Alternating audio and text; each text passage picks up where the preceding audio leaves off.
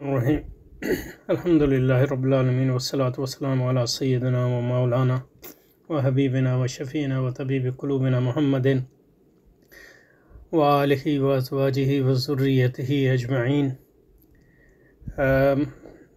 This is our last, uh, hopefully last session of this reading.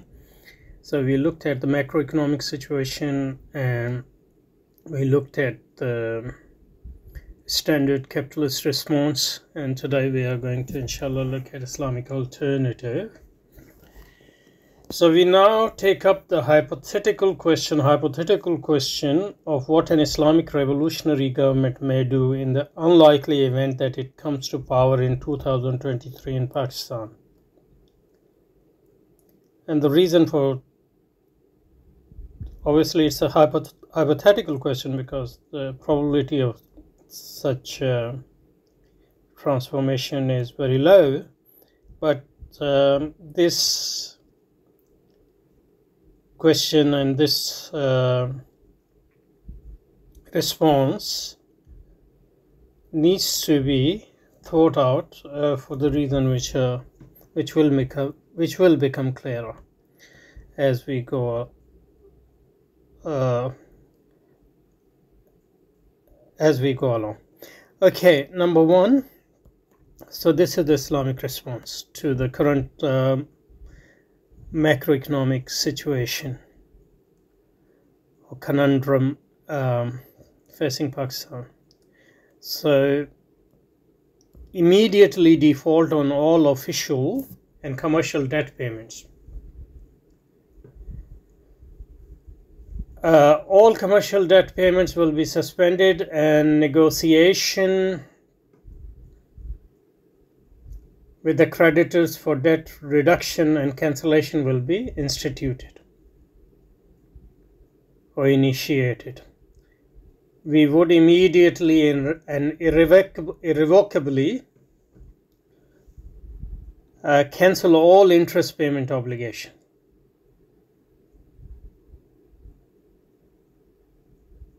As they are considered haram by both Islam and Christianity. Payments of principal amount, amount due will be related to export and, remit, and remittance receipts. So the repayment would be pegged with the export and the quantity. So there would be a in the interest of the um, donor countries to help Pakistan increase its export. Say 10% of export and receipts, which each year will be allocated to payment of principal debts outstanding. Okay, so th this is the first uh, response cancellation of or default on all official and commercial payments and the suspension and initiation of uh, negotiation for debt reduction, reduction in cancellation. And interest would be cancelled anyway because come under what they call odious debt anyway. Probably the whole debt is odious anyway. Number two we don't anticipate any serious impact on economy of default receipt of foreign capital markets and multinational sources will be suspended. But since these flows are used mainly for debt servicing, their termination will have no serious effect on the overall overall uh, investment level. Uh, receipt of foreign foreign capital markets and multinational sources will be suspended. Foreign portfolio investment has been negative or negligible for several years and FDI for foreign investment has been trivial component of gross national formation. We do not expect a termination of direct investment under the CEPC program CPEC program, no country which has suspended debt payments in the past. Argentina, Sri Lanka, Lebanon, Ecuador, Ecuador, etc., has suffered an exclusion from export market, markets or been sus- subjected to sanctions. We do not expect any negative impacts on our export due to debt default. It is also unlikely that sanctions will be imposed consequent to default. Sanctions are usually imposed for political reasons, not economic reasons. So sanctions are political tool and it should be um, dealt with politically, not economically. Pakistani debt is a minuscule proportion of global debt outstanding, and its payment of its suspension will have no visible impact on global finances. Sanction may be imposed to punish Pakistan for installing Islamic an Islamic regime, but sanction will have no serious impact on our economy. Sanction was imposed in 1998-99 in response to our nuclear explosion, and all international capital flows were suspended, but the economy, economy grew 5% that year. So actually, uh, sanctions have a positive impact, at least a positive correlation between sanctions and the economic growth. And it makes sense because once you have sanctions, then you are no longer obliged to follow their policy guidelines. CPI inflation was about 3% and gross dom dom domestic uh, capital formation was positive. Pakistan is able to withstand uh, such sanctions because Pakistani economy is overwhelm overwhelmingly domestically sourced. It is not the structurally uh, a strong uh, economy in the sense that the proportion of export import to the overall um, GDP is low or gross national product is low, which is a good thing.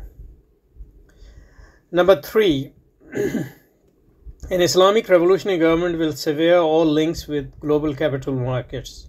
Since global financial transactions are all riba and gharar based, it will institute a managed fixed exchange rate regime managed fixed rate sorry managed fixed exchange rate regime we will construct we will contract we will not contract any foreign foreign loans in the form of bonds sukuk or commercial or multinational source borrowings. We will impose strict capital controls on both current and financial accounts of the balance of payments and institute a system of foreign exchange and financial licensing. Sorry. Yeah and and import licensing. All foreign exchange inflows and outflows will be channeled through the government. So so these are more like uh, slightly Keynesian style policies which were norm in the capitalist world before this neoliberal um, because, uh, before the neoliberal era. Number four, we will immediately nationalize banks, including Islamic banks. Uh, because without nationalizing banks, you cannot uh, abolish riba, really. Because uh,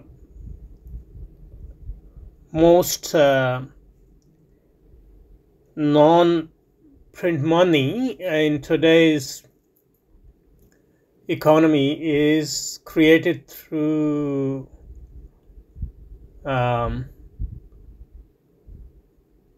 credit. So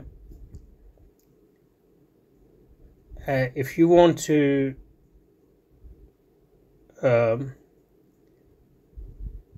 abolish riba in that in that institutional settings, you have to nationalize banks, and that's that will be our ijtihad in a sense.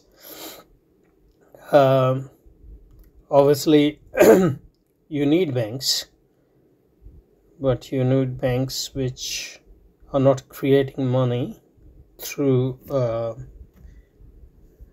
riba based uh, credit system.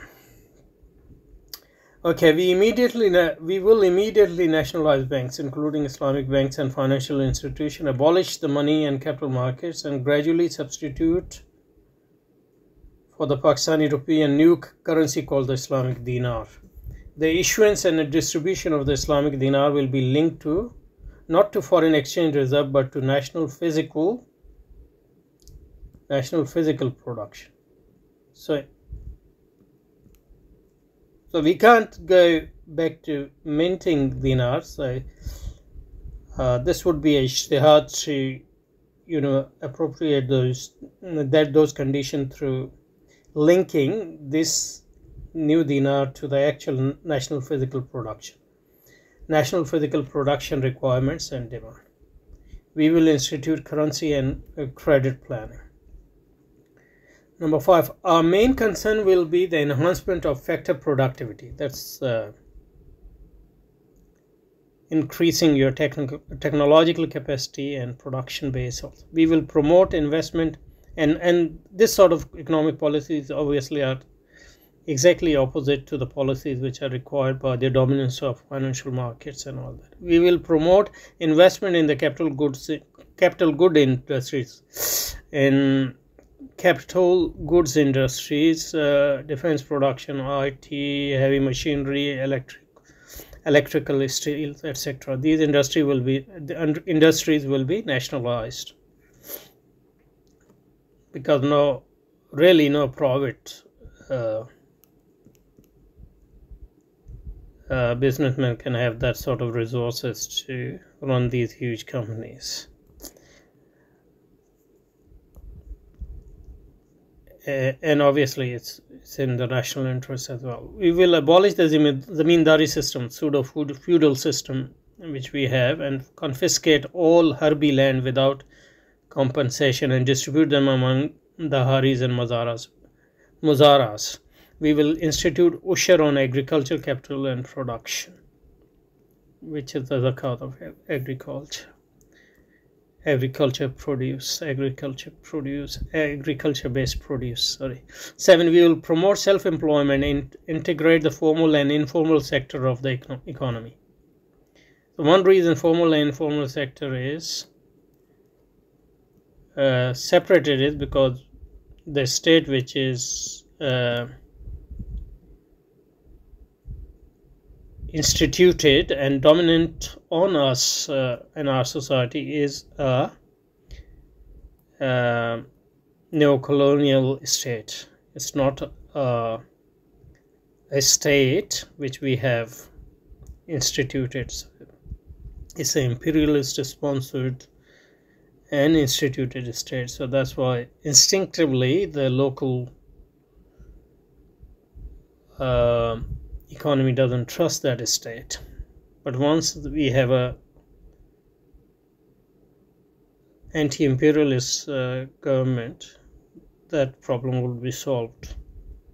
Should should be solved or it should be one of its uh, one of its objective to solve this problem. Economic policy will be domestic demand and not export driven and will seek to promote import substitution, especially in the food, pharmaceutical, capital equipment, IT, and service sector because it is this dependence on the uh, exports which uh, make you in the uh, subservient to the foreign capital in the first place. We will ban the export of professional capital, doctors, engineer, management, professional IT workers from the country. This is something of a wish list uh, as the possibility of an Islamic revolutionary regime coming into power in 19 in 2023 are nil. Nevertheless, it is important. So that's the reason why we still need to have this wish list. That Islamic Party representatives, uh, 30 or 35, which can be elected provided there is an electoral unity among the main Islamic parties in 2023 adopted revolutionary stance in the National Assembly and from the and from the opposition and from the opposition benches criticized the macroeconomic strategy of the neo-colonial state capitalist government from an Islamic revolutionary perspective.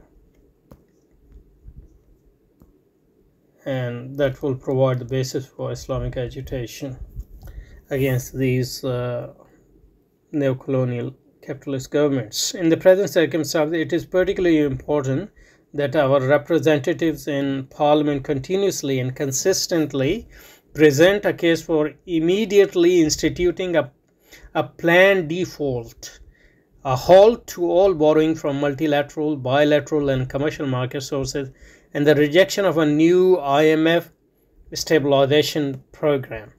We must endeavor to show that such a move undermines uh, genuine stabilization of the macroeconomy and that the stabilization that the IMF seeks to impose on Pakistan is a stabilization of the graveyard. Okay, so this was pretty good and hopefully we have learned a few things from it. Uh, obviously for non um, um, trained person, a person who is not trained in economics and economic policies, it might not be all clear, but you know, it's important to try to understand these debates. And as we, you know, read this material uh, more and more, we'll be able to understand it more, hopefully. Okay, thank you.